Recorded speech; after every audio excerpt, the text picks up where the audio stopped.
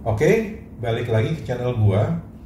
Cuman kali ini gue tidak mau mereview, gue hanya mau menceritakan kasus penipuan yang nyaris berhasil menimpa gua.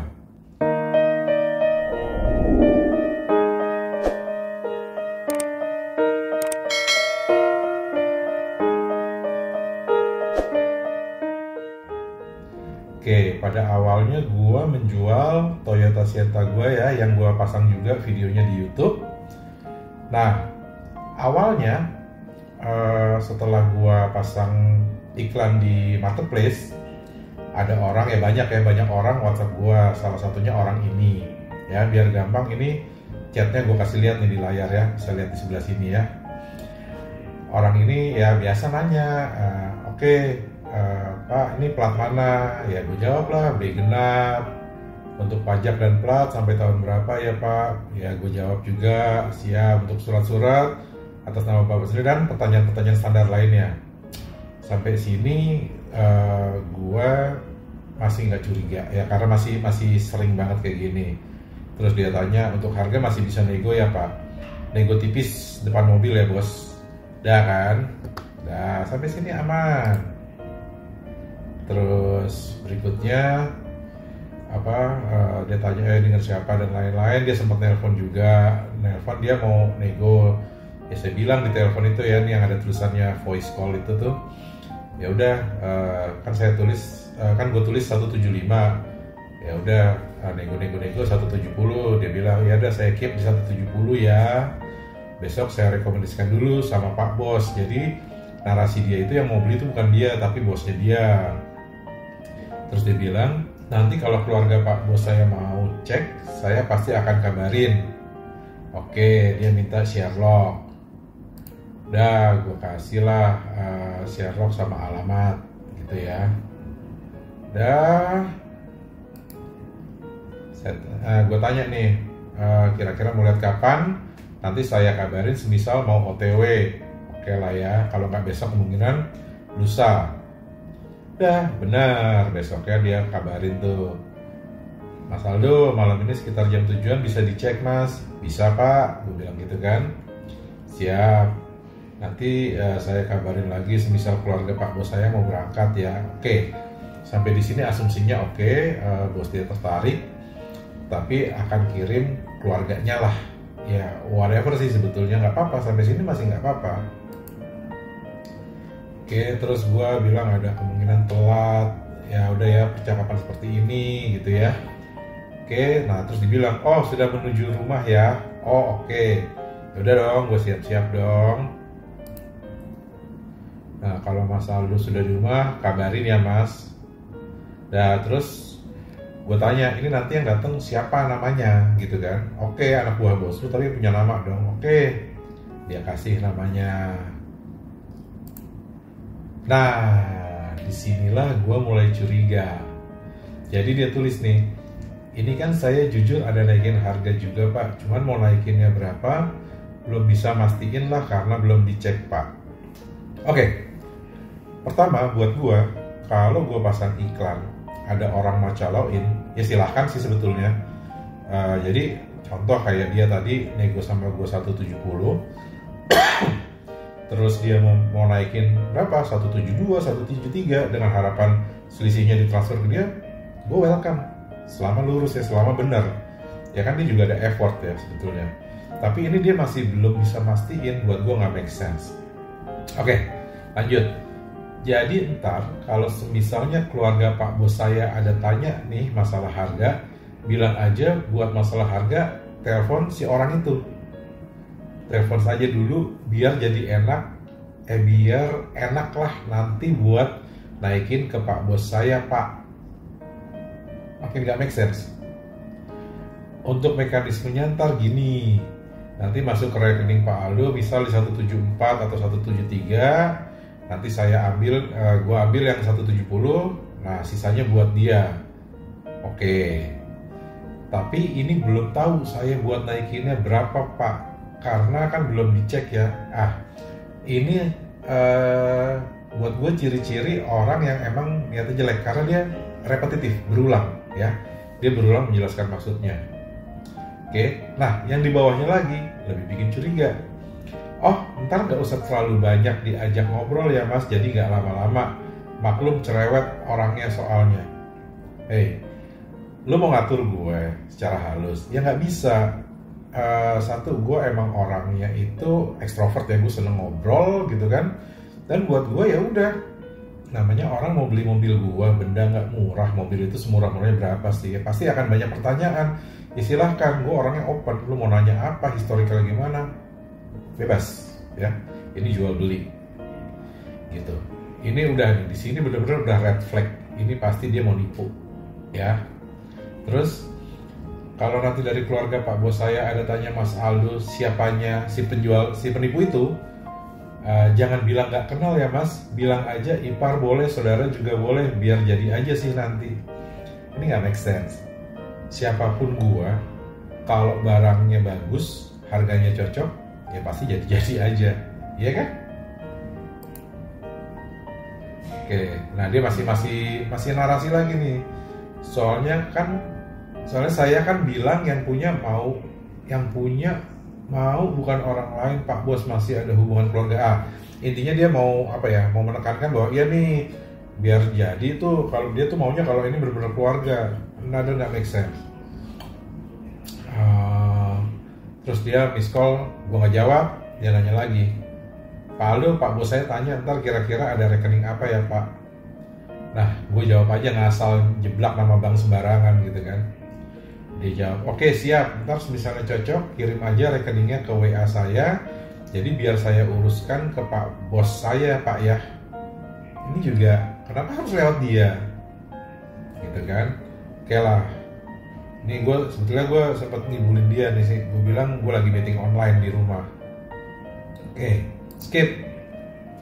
Nah, terus berikutnya ada, ntar tolong standby di WA ya Pak, biar nggak miskomunikasi aja takut nggak nemu rumahnya keluarga Pak Bos saya. Oke okay, sampai sini make sense. Ya benar juga. Oke. Okay. Uh, terus uh, eh, gue ini gue tantang. Ya kasih aja nomor saya ke dia. Saya jemput kalau perlu. Dia lagi-lagi melakukan sesuatu yang repetitif. Ini udah bener dan pas ya. Itu alamat gue gue gue sensor tentunya ya. 14 menit lagi sampai. Gue jawab iya. Suratnya tolong disiapkan pak ya. Jadi biar gak dua kali kerja aja sih ntar gampang Nah, berikutnya gue tantang. Ini kan dia bilang uh, apa? Anak buah bosnya kan. Berarti dia harusnya kenal. Gue tantang. Boleh saya dikasih nomornya si orang itu? Boleh. Bentar ya Pak. Nah, dari gua minta itu ada 4 menit lah ya jeda. Ya 4 menit sebetulnya nggak lama tapi gini. Kalau emang bener ini orang suruhan bos dia, harusnya dia punya kontaknya dan harusnya itu hitungan detik ya. Cuman-cuman forward uh, nama kontak orang ya yang udah ada di phone book lu. Oke lah apa-apa ya mungkin dia repot. Oke.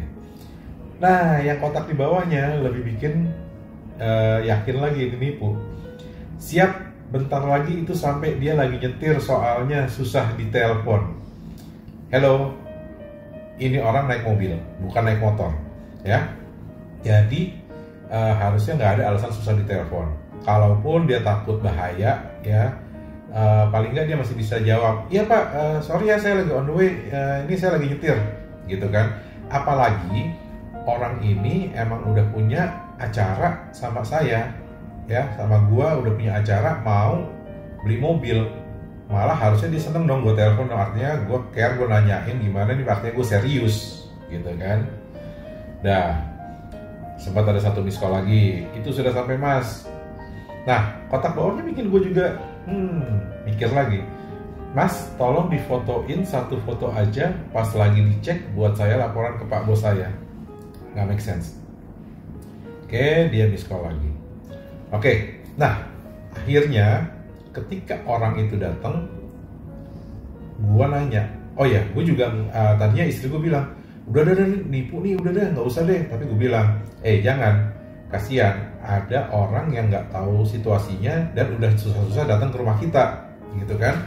Nah ketika orangnya akhirnya datang gue tanya pak bapak ini siapanya si penipu itu? Ya gue bilang ya oke.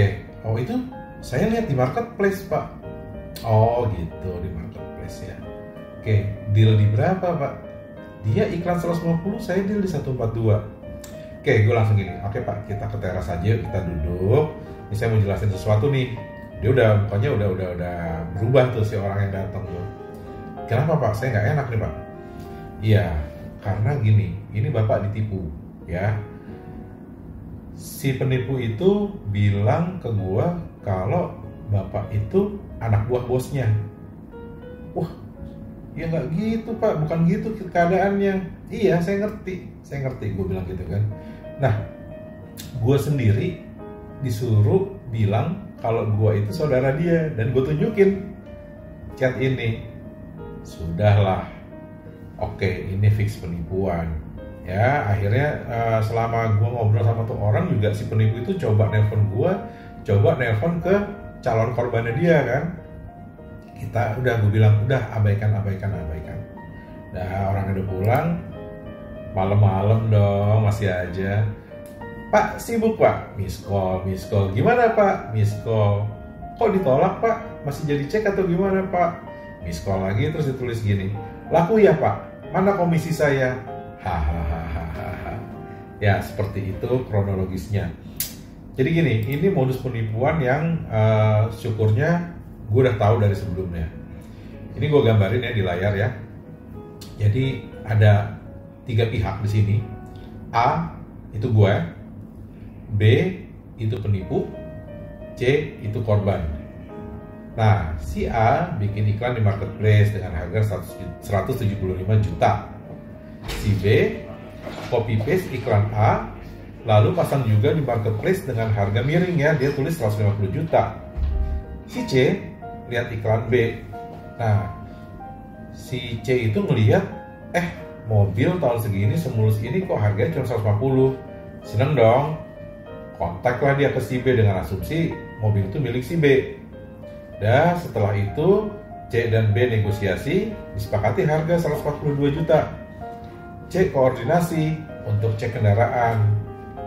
Nah, si B mengiyakan tapi B bilang lagi di luar kota, tapi datang aja ke rumah nanti ada saudaranya dia namanya si A ada di rumah. Lalu B kontak A bilang bahwa bosnya tertarik dan minta harga final. A dan B setuju harga final di 170 juta.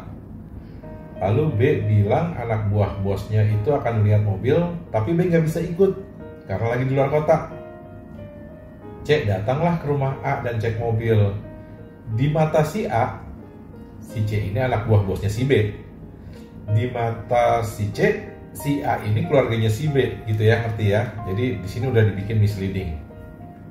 Nah, untungnya ini nggak sampai benar-benar tertipu karena kalau sampai tertipu kita lanjut ketika C suka dengan mobilnya B akan minta C transfer ke rekening B setelah C, uh, si transfer si C akan bilang ke A kalau sudah transfer si A merasa tidak ada dana masuk ke rekeningnya dan menolak menyerahkan mobil ke C ya dong eh mana lu bilang udah transfer mana nggak ada masuk ke rekening gua ketika C sadar telah ditipu oleh B si B sudah menghilang jauh dengan uang transferan si C.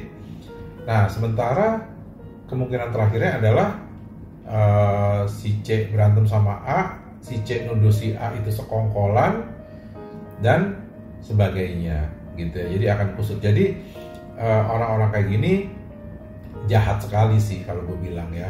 Karena beli mobil itu kan ya nggak nggak murah ya. Mau mobil bekas, mau mobil baru. Dan ini akan sangat merugikan gitu ya. Karena A nggak ngerasa jadi penipu. C uh, ngerasa udah transfer. Bisa jadi malah C berpikiran A dan B itu sekongkol atau gimana. Gitu sih. Jadi pesan gua buat lo yang nonton supaya berhati-hati dalam melakukan jual beli online terutama yang mahal ya baik mobil, motor, barang mewah. Itu kalau uh, dana belum masuk ke rekening lo jangan pernah dikasih ya.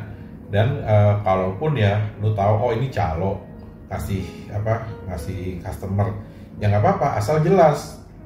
Gitu dan puji Tuhan sebetulnya mobil gue akhirnya sudah dijual. Sudah terjual ya. Sudah terjual uh, dengan secara baik-baik. Dan jujur itu terjual juga karena calo. Tapi calonnya jujur pak saya caloin ya pak segini. Nanti uh, kalau dia udah bayar segini uh, transfer ke saya segini. Oke okay, fine nggak apa-apa. Gitu. Oke okay deh thank you buat yang nonton. Udah nonton sampai selesai. Uh, ditunggu like-nya share-nya komen juga ya. Dan buat yang belum subscribe tolong subscribe. Sampai jumpa lagi di video gue yang berikutnya. Bye bye